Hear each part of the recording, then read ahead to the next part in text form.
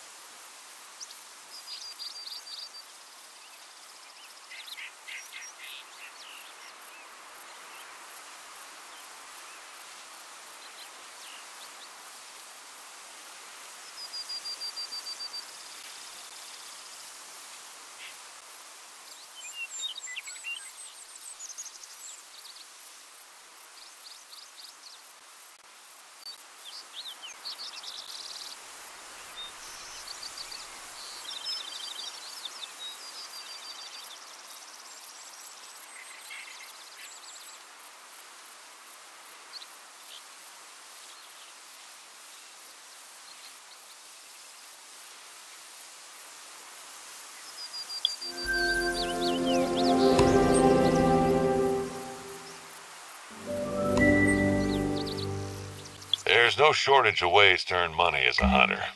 No shortage of ways to spend it either.